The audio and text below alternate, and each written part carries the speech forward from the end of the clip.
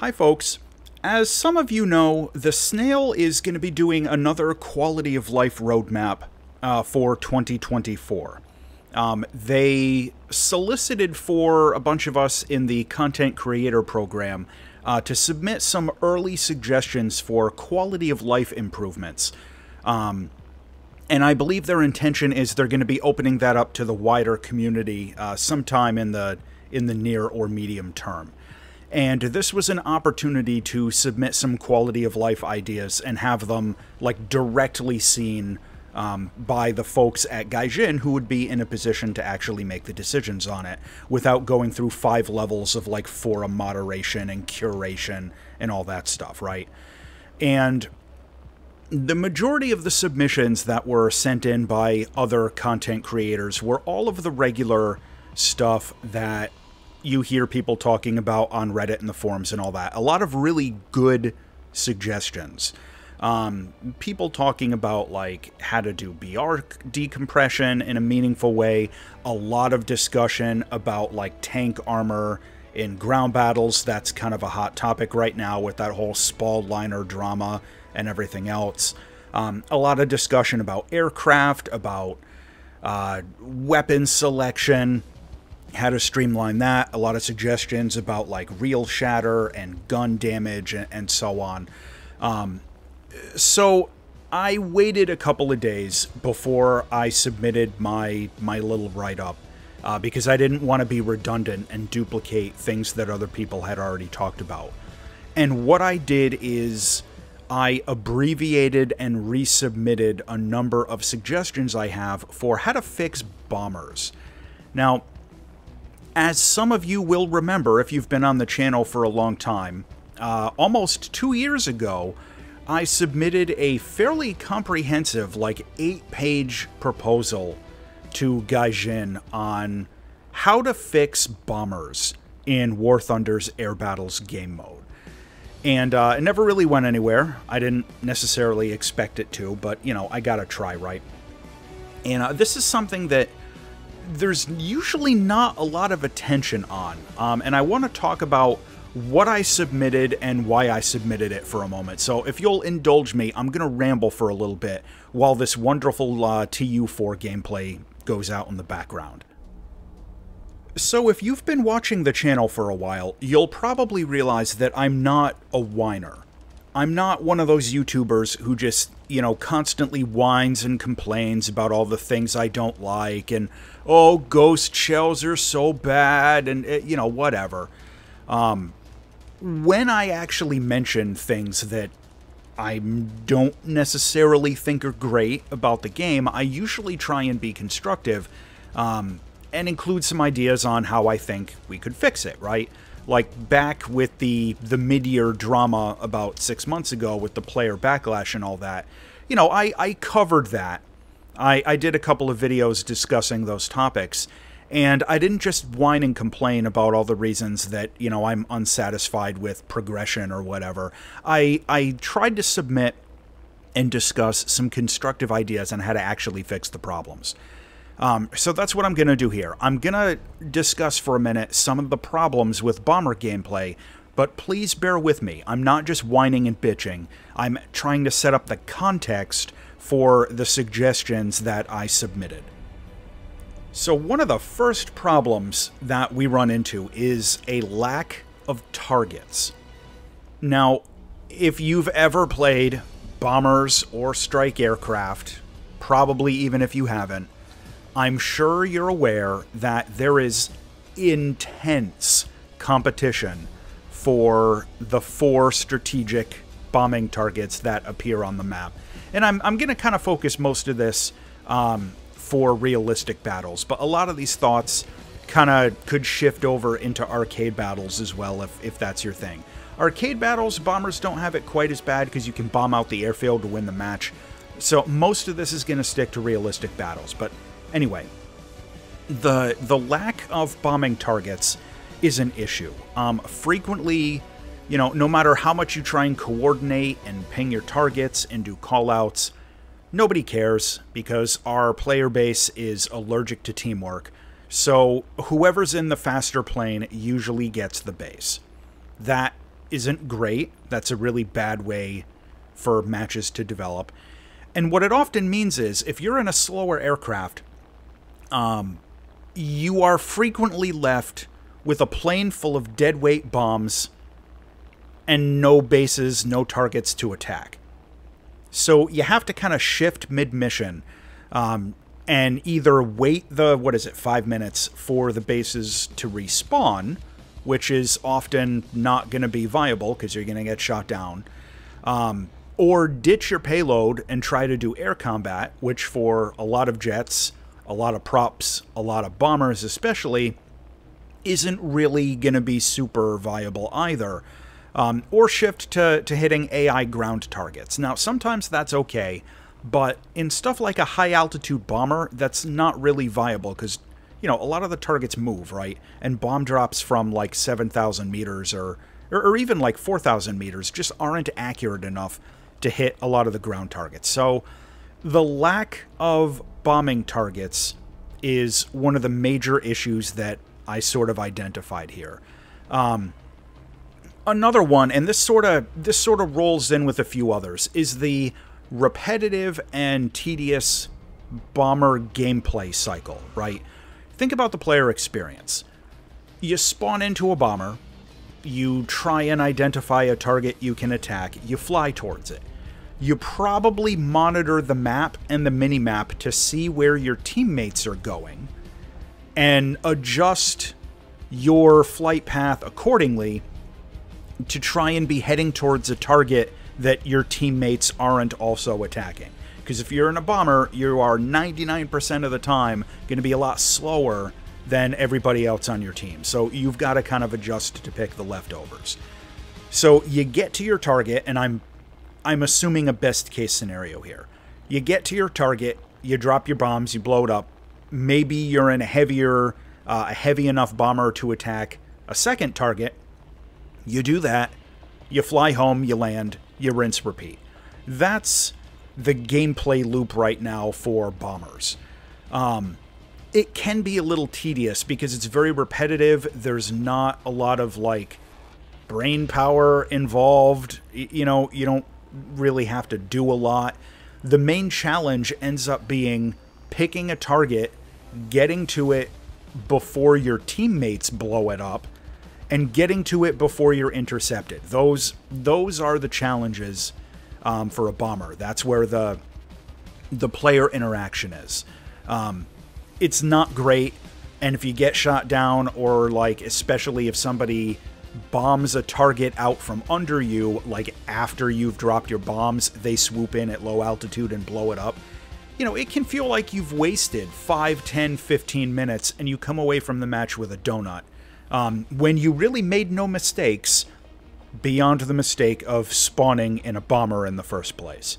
So that's really not great. Um, a lot of times the rewards aren't very good, so that's a problem.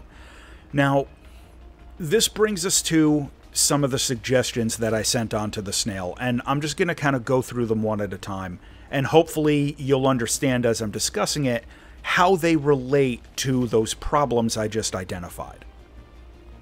So, the first suggestion, and this kind of sets up a few of the others, is to make a distinction between strategic bombers and regular bombers.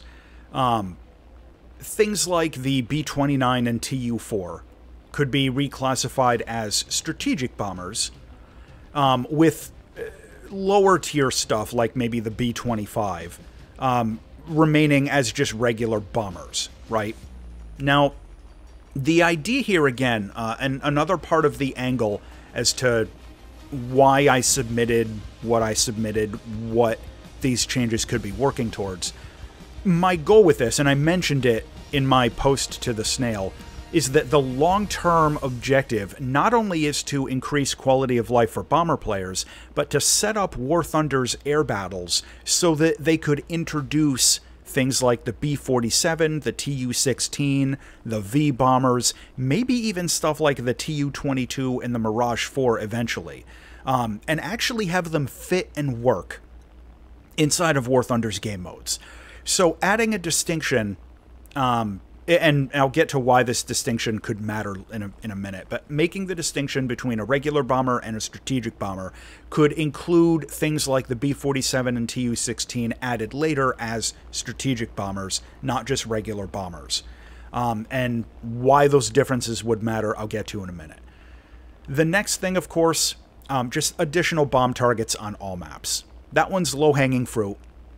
If all they did was increase the number of bombing targets from four to six, that alone would be a huge quality of life improvement for for bomber pilots. That alone would be huge. Um, so I gave that its own line item without any caveats. Now, the next one is to consider adding targets that can only be attacked by strategic bomber classified vehicles. Have strategic targets in addition to the regular bombing targets. This serves a couple of purposes. It reduces competition from strike fighters and even regular fighters and regular bombers um, for the various bombing targets. And it also gives the heavies, the strategic bombers, some unique and specific utility and a game objective that only a larger strategic bomber can complete. This would also allow potentially like the B29 and the TU4 to go down a little bit in our in battle rating. Um, so that they could actually stand a chance against the aircraft that they're fighting, because they wouldn't be able to win a match all by themselves. You know, right now, um, one of the one of the balance issues with heavy bombers, you can't add a B-47 into the game as it is right now because one B-47 with its insane bomb load is going to go take out every base on the map and win the match all by themselves in one plane, assuming they're not intercepted. That's that sucks for the people who aren't in the bombers.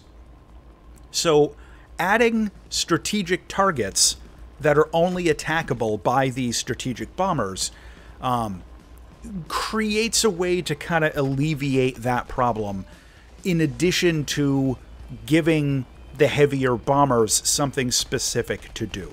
Uh, hopefully, I, I explained that well. The next one is to add multiple spawn points for bombers, like at least four per side. Now, the idea with this, and this this gets into one of the one of the challenges with bomber gameplay, in that a lot of players who have you know a good amount of experience with the game you can muscle memory in a flight profile to intercept bombers about 10 to 15 seconds before they drop their bombs on most maps in most BR brackets. You know, if you if you spawn into an interceptor aircraft or even a lot of runway fighters in like the super prop tier. It's and the, the reason you're able to do that and set up these absolutely flawless bomber intercepts is because it is a known data point exactly where the bombers spawn. That is information you have.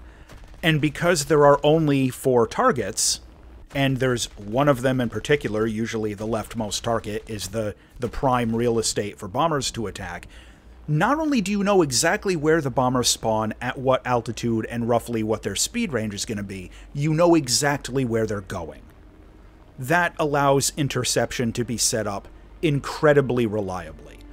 Adding multiple spawn points for bombers, especially if they were like, if they're at different altitudes by like 500 meters or so, um, it makes the job of intercepting the bombers a little bit more dynamic, a little bit more interesting for the interceptors. And it also allows the bombers to have any chance in hell of avoiding interception.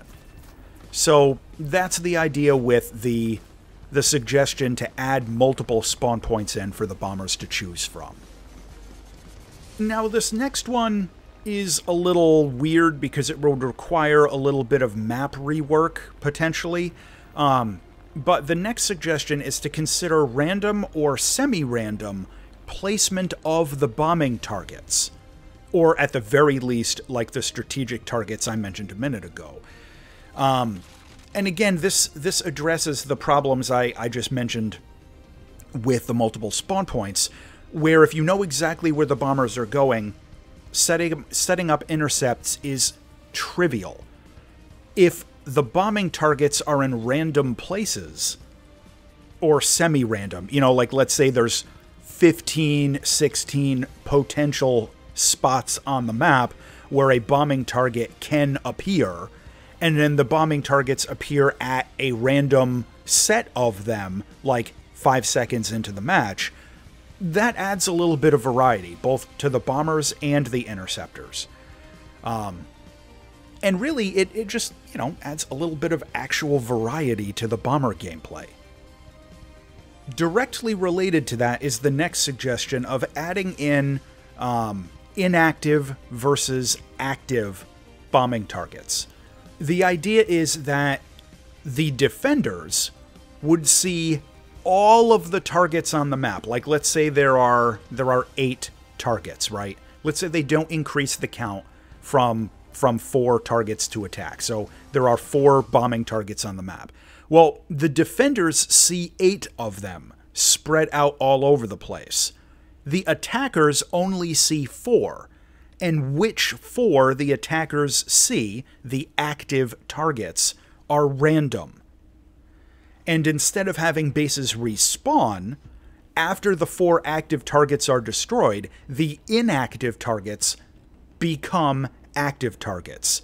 Um, this again would add a little bit of guesswork and strategy for the interceptors to try and predict where the bombers might actually be going, rather than just immediately know every time. So, you know, again, the double objective there of making things a little bit more interesting and dynamic for the bombers and making things a little bit more interesting and dynamic for the people trying to intercept the bombers. So that's a quick rundown of what I submitted for, you know, the quality of life roadmap coming up in 2024. Now, I, I want to make a couple of things really clear, and I will know based on your comments whether or not you watched to this point. What I submitted with fixing quality of life for bombers isn't necessarily because I think this is the top priority. As I mentioned at the very beginning, a lot of the other content creators had already posted a lot of really good suggestions.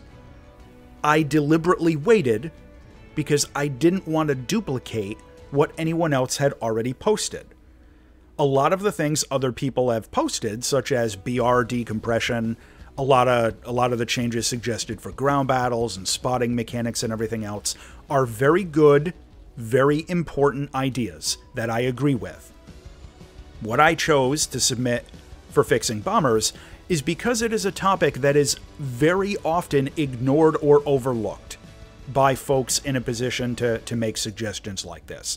So before you type some angry comment, you had one chance to say anything and you wasted it on bombers. No, I didn't waste it on bombers because other people had already submitted a lot of other ideas that were great, and I agree with a lot of them. So why am I going to say something a second, third, or fourth time if it's already been said?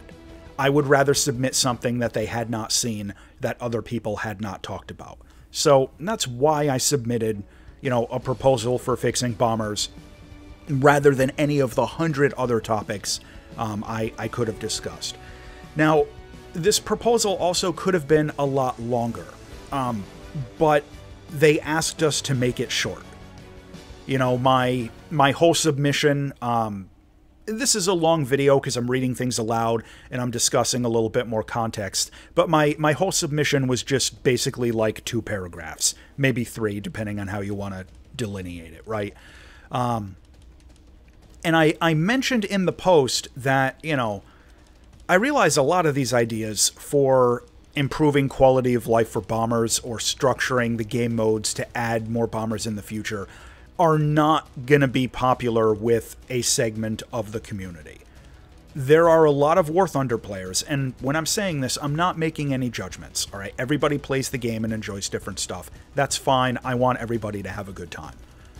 There are a lot of War Thunder players, and especially an enormous number of content creators, I would say 95% of the other content creators, um, who have a mindset that bombers and attackers are just wasting a slot on the team.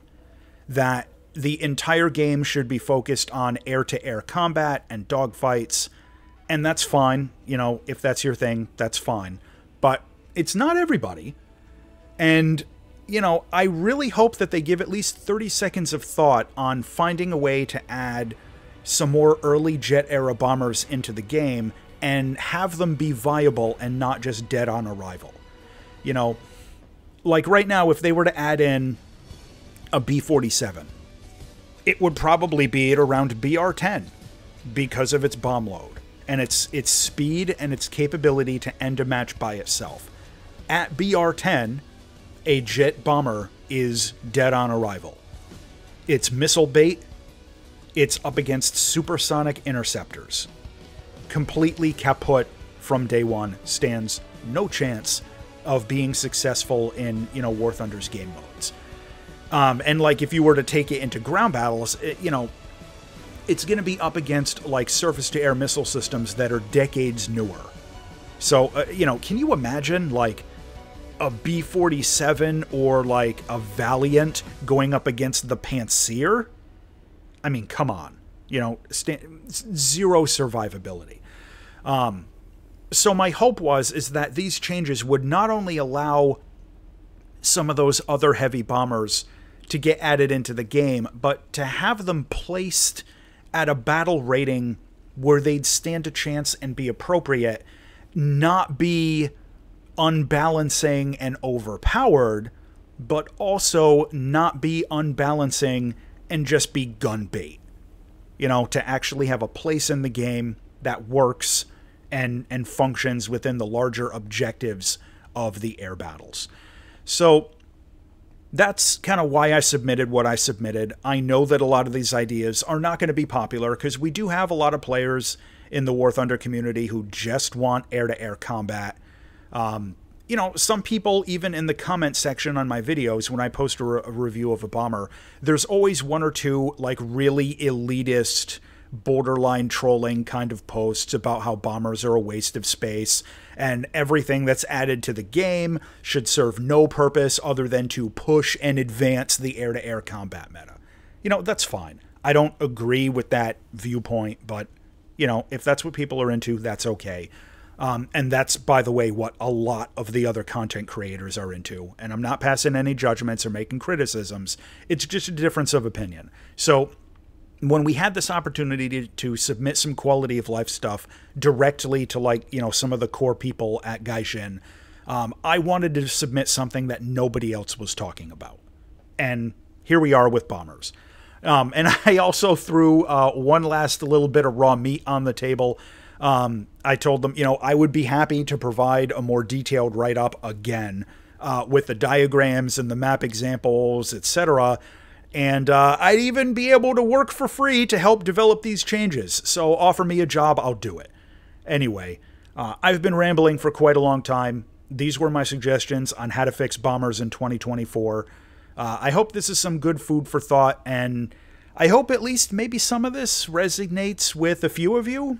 Anyway, as always, thanks for watching.